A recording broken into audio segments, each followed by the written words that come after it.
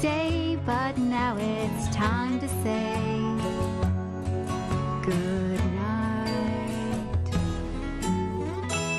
Cause we've got places to go, bubbles to blow, stories to share, and dreams to grow. So good night, good night, good night.